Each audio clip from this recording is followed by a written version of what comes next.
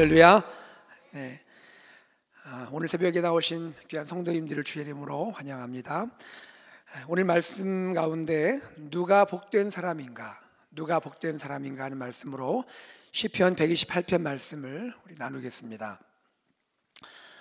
어, 그저께 어, 지난 주일이었죠. 어, 비가 많이 왔습니다. 비가 많이 오는 가운데 우리 성도님들 예배하는 모습을 볼 수 있었습니다. 특별히 어, 원근 각처에서 차를 타고 오셔서 차에서 내려서 우산 쓰고 예배당 들어가시는 모습 보면서 어르신도 계시고 또 아이들 손잡고 들어가는 엄마 아빠들도 계시고 우산 썼지만 또 비에 젖어가면서 이렇게 예배당에 들어오시는 모습 보면서 여러 가지 생각을 좀 했습니다. 어떤 마음으로 우리 성도님들 이 비 오는데도 예배당에 올라오셨을까? 어떤 마음으로 예배당에 올라가실까? 아마 여러 가지 마음이 있을 거예요. 그러나 제 마음에 딱 떠올랐던 한 가지는 우리 성도님들이 하나님을 사랑하시기 때문이다 생각을 했습니다. 오늘 본문 시편 128편 또한 성전에 올라가는 구약 성도들이 불렀던 노래입니다. 표제에 보시면 성전에 올라가는 노래라고 되어 있죠. 사실 이 시에 대한 정보가 많지는 않습니다. 시인이 이 노래를 언제 지었는지 특별히 이스라엘 남자들은 1년에 세 번 성전에 올라가잖아요. 어, 그런 기회에 올라가면서 지은 시인지 혹은 그 기간이 아닌 일반적인 상황에서 올라갔던 그런 순례자의 시인지 또 이 당시 역사적인 시기는 언제인지 그것이 어느 왕 때인지 바벨론 포로 후인지 어, 성, 어, 오늘 성경은 말씀하지 않습니다. 더욱이 시인 자신이 누구인지도 어, 밝히고 있지는 않아요. 이렇게 정보가 불충분한 상황이지만 그럼에도 불구하고 이 시를 읽다 보면 분명한 것 한 가지 있습니다. 시인은 먼 순례의 길을 걸어서 성전에 올라간 경험이 있는 자라는 것이죠. 그러면서 하나님을 예배했던 기쁨과 감격을 느꼈던 사람인 것은 분명합니다. 이 부분에서만큼은 구약의 시인과 오늘 우리 성도님들의 그 예배의 감격과 기쁨이라는 그 공통 분모에서는 동일한 줄로 믿습니다. 오늘 이 시에서 시인이 먼저 노래하고 있는 내용이 있습니다. 그것은 무엇이냐 하면 복되도다 하는 것입니다. blessed. 복되도다. 다 같이 볼까요? 복되도다. 이 시는 기분이 참 좋은 시예요. 복된 사람에 대해 말하고 있어요. 복되도다. 시편 1편 연상되지 않으세요? 복 있는 사람은 복되도다 이런 사람은 그렇죠? 시편을 128편에서 복되도다 이런 사람은 이렇게 말하고 있습니다. 누가 복된 사람일까요? 오늘 성경은 몇 가지로 말씀하는데요. 첫째, 복된 사람은 여호와를 경외하는 사람입니다. 여호와를 경외하는 사람. 경외한다는 것은 여러분 공포심에서 나오는 두려움이 아니죠. 그것은 지극한 사랑에서 비롯되는 두려움입니다. 그러한 거룩한 두려움, 지극한 사랑으로 느껴지는 두려움으로 하나님께 나가는 자 복되도다. 특별히 여기 시편에서는 여호와를 말씀하고 있습니다. 여호와는 누구시죠? 창조주시고 또 창조한 모든 것을 주관하시는 섭리자이시죠. 그런 큰 권능의 하나님이시지만 구약에서 여호와라 할 때는 또 어떤 하나님이신가요? 구원자이시고 언약의 하나님이십니다. 인격적이신 하나님이라는 거죠. 하늘과 별과 온 우주 만물을 창조하신 크신 하나님이실 뿐 아니라 작은 나, 작은 나임에도 불구하고 나를 기억하시고 나를 찾아오셔서 그분이 누구이신데 창조주이시고 나는 한갓 피조물인데도 하나님과 나 사이에 언약을 맺으시고 복 주시겠다 하시고 사랑을 약속해 주시고 지키시고 보호하시는 그분 그분이 여호와 하나님이십니다. 그 하나님을 경외하는 자, 여호와를 경외하는 자 복되도다. 둘째 어떤 자가 복됩니까? 그의 길을 걷는 자, 여호와의 길을 걷는 자입니다. 지금 시인은 먼 순례의 길을 걸어왔죠. 순례의 길을 걷는다는 것은 어떤 경험입니까? 그 먼 길을 걸어오면서 점점 점점 성전이 보이잖아요. 성전이 보일수록 누구에게 집중하겠습니까?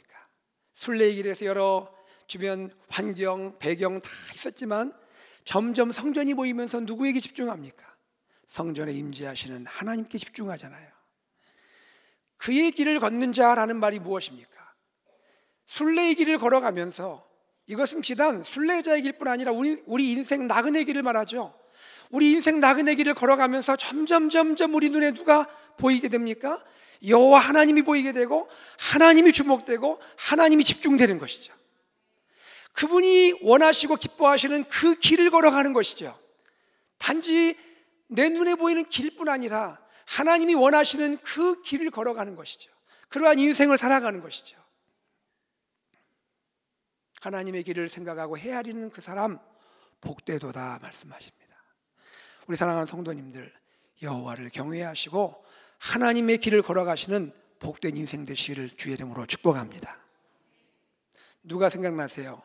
저는 아브라함이 떠오르더라고요. 믿음의 조상 아브라함. 하나님 그러셨잖아요.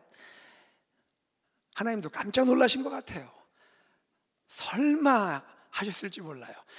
그 귀한 독자 이삭을 바치라고 하셨지만 설마 아브라함이 그 귀한 독자를 바칠까 하셨을지도 모르잖아요. 그런데 아브라함 보세요. 그 먼 순례이 걸어갔죠. 모리아 산까지 걸어갔잖아요. 그리고 하나님의 그 길을 하나님이 말씀하신 그 길을 쉽지 않은 그것이지만 순종함으로 이삭을 제단 위에 올려놓잖아요. 하나님의 길을 따르잖아요. 하나님이 깜짝 놀라신 것 같아요. 아브라함 멈춰라 멈춰라 하시면서 뭐라 하시죠? 내가 이제야 내가 나를 경외하는 줄을 알았노라. 여기 알다란 말은 히브리어로 야다입니다. 하나님이 모르시는 게 어디 있겠어요. 그러나 하나님은 이 사건을 통해서 체험적으로 아셨다는 거예요. 아브라함이 얼마나 하나님을 경외하는지를 하나님이 직접 경험적으로 아셨다는 거예요. 성도님들, 주님을 경외하는 것은 쉬운 길은 아닙니다. 그러나 우리가 주님을 경외하는 그 삶, 주님의 길을 따르는 그 삶을 통하여 하나님을 기쁘시게 하는 저와 여러분 되기를 주의 이름으로 축복합니다. 이런 복된 자에게 하나님이 복된 삶을 약속하시는데 그것이 성경에 소개되어 있습니다. 첫째로 어떤 축복을 약속하시냐면 노동의 축복을 약속하세요. 다 같이요. 노동의 축복. 어떤 분은 노동이 목사님 축복이에요. 노동이 축복이에요. 내 손이 수고한 대로 먹을 것이라. 여러분, 노동의 열매를 먹을 수 있다는 거예요. 우리 주위에 한번 돌아보세요. 열심히 수고했는데 새벽부터 밤까지 수고했는데 수고의 열매를 못 먹는 사람들도 있어요. 그렇잖아요. 땀 흘렸는데 날아가 버려요. 하나님 뭐라 하시죠? 내 손이 정직한 땀으로 수고한 대로 먹을 것이라. 두 번째는 노동할 수 있는 기회죠. 여러분 노동하고 싶다고 노동하나요? 건강 안 받쳐주지 못합니다. 시간이 주어지지 않으면 못해요. 환경이 허락되지 않으면 노동 못해요. 우리가 일하고 싶어도 일하지 못하는 분들을 기억하면서 나에게 손으로 수고할 수 있는 기회와 시간과 환경 허락하신 하나님께 감사할 수 있는 저와 여러분 되기를 바랍니다. 그리고 정직한 땀의 가치를 아는 것이 복되다는 거예요. 땀 흘리지 않고 얻는 그러한 결실은 그것이 복이 아니라는 거예요. 정직한 땀을 흘리면서 거기에 따른 축복을 얻는 것 그것이 필요 어, 힘들지만 노동의 진정한 가치를 얻는 삶이라는 거예요. 창세기 1장 18절에 주님은 문화 명령을 주셨어요. 아담을 지으시고 cultural mandate 뭐예요? 너는 땅을 정복하라. 그리고 땅을 다스리라 말씀하셨어요. 이건 범죄하기 전이에요. 하나님은 노동의 신성한 축복을 주셨어요. 하나님이 지으신 창조 세계를 선한 청지기로 다스리고 관리할 수 있는 은혜를 주셨어요. 우리는 예수 그리스도의 구속으로 말미암아 회복이 되었어요. 주님 안에서 우리는 우리에게 주어진 가정과 우리 일터, 우리 환경에 하나님의 사랑과 은혜를 나누며 이 땅을 주의 통치 가운데 다스리는 그러한 삶을 살기를 간절히 소망합니다. 이것 주님이 원하시는 삶인 것이죠. 이런 자 복되도다 그랬습니다. 여러분 땀 흘리시는 은혜가 기쁨으로 열매 맺기를 축복합니다. 둘째, 하나님은 가정의 축복을 말씀하셨어요. 다 같이요. 가정의 축복. 아내와 자식들을 말씀하시네요. 내 아내는 내 집 안방에 있는 아내는 예전 성경에는 내실에 있는 내 아내는 여인이 아내가 집안의 가장 중심에 있다는 거예요. 어떤 아내를 말할까요? 저는 잠원에 있는 현숙한 아내가 떠올랐어요. 지혜로운 아내, 가정의 중심에서 가족들을 책임져 주는 아내. 그런 아내가 있는 그 남자 복되도다 말씀하고 있습니다. 여호와를 경외하는데 어떤 여인이 그런 삶을 살지 않겠습니까? 여러분 이러한 행복한 가정 하나님 허락하실 줄로 믿습니다. 결실한 포도나무 같다고 했죠? 포도나무 보세요, 여러분. 가지는 연하고 약해요. 그런데 그 풍성한 열매들이 맺히잖아요. 아내가 그렇다는 것이죠. 아내는 연하고 약한 존재예요. 그러나 아내로 인해서 여호와를 경외하는 아내에게는 풍성한 결실이 맺힌다는 거예요. 하나님께 영광을 돌릴 뿐 아니라 가족들에게 물과 양분을 공급해 주는 아내예요. 여러분 이런 은혜가 여호와를 경외하는 자에게 주어짐을 믿으시기를 바랍니다. 자식들에게 말하죠. 내 식탁에 둘러 앉은 자식들. 사랑하는 자녀들 하나님 주신 최고의 선물이잖아요. 여러분 자녀들과 식사해 보신 적이 언제세요? 자녀들과 밥 먹으면 좋지 않으세요? 안 좋으신가 보죠. 자녀들과 함께 식탁에서 밥 먹으면 행복하잖아요. 그게 행복이라는 거예요. 다른 거 아니라는 거예요. 어릴 때는 잘 못 먹으니까 부드럽게 해서 죽으로 먹어주든지 좀 더 크면 엄마 아빠 먹는 음식 같이 나눌 수 있잖아요. 비록 찬이 많지 않더라도 엄마 아빠 함께 기도하고 함께 밥을 먹고 함께 국을 뜨고 이게 행복한 거죠. 맞습니까? 저희 어머니가 한국에 계신데요. 한국의 어머니를 방문할 때가 있어요. 아들이 온다는 거 알면 전날부터 바쁘신 것 같아요. 뭘 준비하시는지. 아들 좋아했던 된장국 끓이고 콩자반 준비하고 열무김치 해놓으시고 같이 앉아가지고 기도하면서 이런저런 이야기 나누고 같이 밥 먹는 그 시간이 행복하신 거예요.